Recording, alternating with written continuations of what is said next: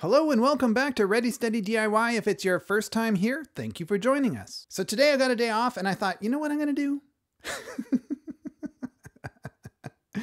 I'm gonna make a pinhole video camera and see how I do. With a pinhole camera, you can create some amazingly different images. Yes, they're a little bit softer. Yes, they're a little bit grainy, but they can look hauntingly beautiful. And they're definitely different than the kind of images I make at work every day. So today I think I'm gonna give it a go. I've used professionally made pinhole adapters before, so I sort of know what I'm doing, but I've never built one myself. You are about to witness my first kick at the can. So let's see what I can do with my day off. Let's get started. So the sensor of your camera looking out of a lens is a lot like you looking out of a window. All of the light that is reflected off of the objects outside of your window bounces back in through your window and you see those objects. Same thing with a sensor in a camera or a film plane in a camera. Light bounces off of all the objects that you point the lens at. That light reflects back through the lens, onto the film plane or onto the sensor, and an image is born hopefully a good one. But in the same way, you could just open up your window and look out at those objects clean in order to see the light that's bouncing off of all the objects in your backyard or whatever you're looking at. In the same way, a camera can do that too. It doesn't need the lens there in order to create an image. It needs the lens there in order to create what I guess we would call a professional image, but you can still create an image just by opening up the window, so to speak. So with a digital camera, we would do that potentially by just removing the lens and leaving the port cap off. The port cap is the cap that protects the camera body when there's no lens on it. But as you can see, if I just take the lens right off the camera here and let the sensor of the camera see all the light bouncing off of all the objects in front of it, the image is a little overexposed. it's a little bit too much light. The hole is just way too big in order for the sensor to create an image while looking out of it. It's seeing all the light, it's just seeing way too much. We need to create a way that we can limit and control the amount of light that gets through to the sensor so that it creates an image. So in order to do that, we're gonna put a pinhole in the port cap of the camera body. That way the hole is in exactly the right spot, right in front of the sensor, and hopefully when I do it, we'll get an image. So typically what happens is people make a hole in the port cap of their camera, and then fill the hole in with some foil or a piece of aluminum, something like that, and then make their pinhole in the foil. A lot of people question that. Why not just drill a hole in the port cap? Well, first, it's going to be pretty hard to do and keep it tiny. If you just try to poke a hole through that thick ABS plastic, chances are it's not going to be straight, it might not be round. The kind of drill bit you would need, even if you got the smallest drill bit you could find, you'd probably make a hole that was too big. Also, the thickness of the material affects how much light gets through that hole. So in this case, I'm going to drill a hole in the port cap and then I'm going to replace that hole with a piece of black foil, or what in the film and television industry we call black wrap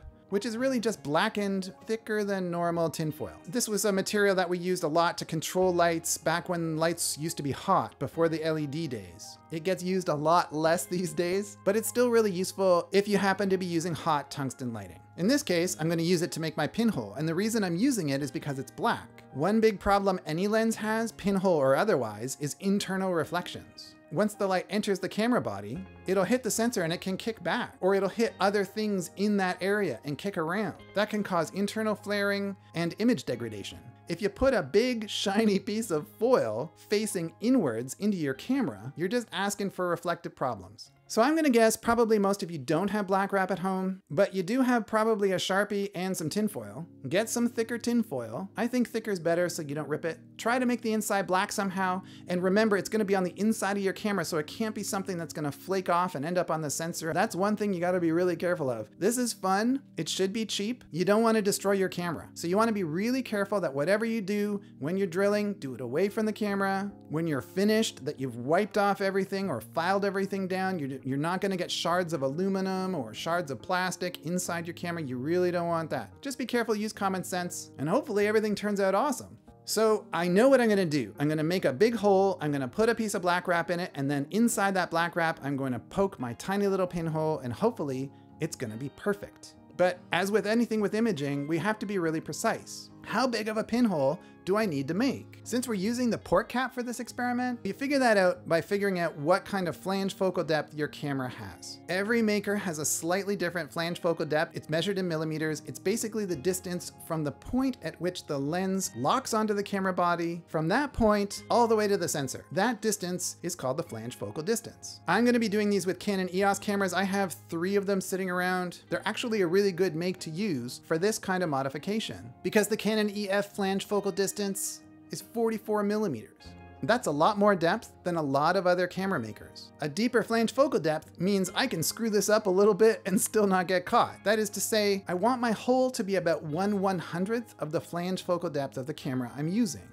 In this case, a deeper flange focal depth means I can make a bigger hole, and it's a lot easier to make a bigger hole than it is a smaller hole. I mean, keep in mind we're talking about pinholes here. They're all pretty small, but in this case, I want my pinhole to be 1 100th of 44 millimeters, or 0.44 millimeters in diameter. That seems doable to me. I went through my tools, I looked at a bunch of things. First of all, you're not gonna use something like an awl.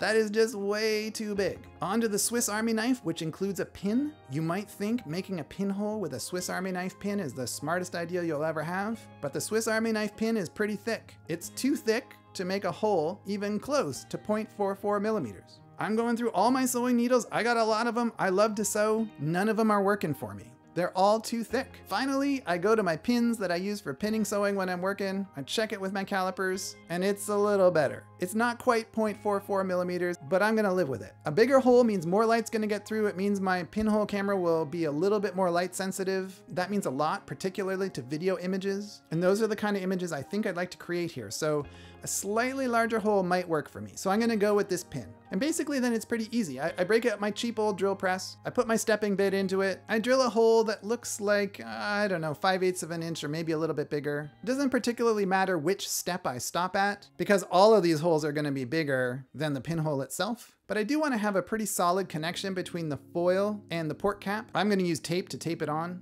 but the bigger the hole means the bigger the piece of foil, which means more likely that I'm not going to screw it up. So I drill my hole, and I think it's gonna be easier to put the pinhole in the foil before I attach it because I wanna make sure that I don't leave little burrs on the inside, like the opposite side of the needle. Because when you poke through something metal, obviously some of the material that you're removing to create the hole is just gonna bend back into the back of the piece of foil. So if that happens, you can mitigate against that by spinning your needle a little bit and sort of drilling into it. That way you're removing material more by drilling, less by poking, I guess. If there's a burr or two on the other side, I think a little bit of 2000 grit sandpaper or something mild would be appropriate. And once I think I've got my hole just right, I'm gonna tape it down to the inside of that port cap, stick the port cap on and see what I get. Wow.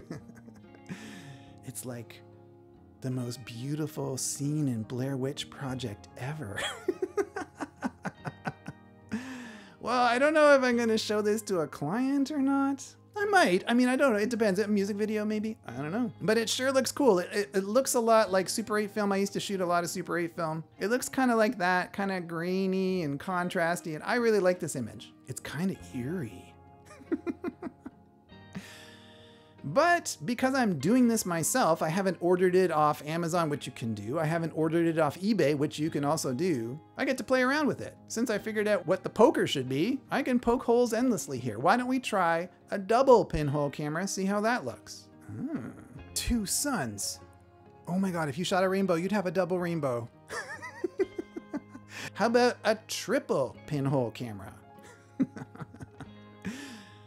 okay, so this has been pretty fun. I'm not sure if I'm going to bring this to work or not. I might just use it as sort of amusement, but it was a pretty interesting way to use some stuff that was lying around I wasn't otherwise using. And you never know when you make pictures for a living when a little gag like this might just come in handy. So I hope that helped you out. If it did, please feel free to like or subscribe. It means the world to a channel. If you could like or subscribe a video, it really, really helps. It's not just a story.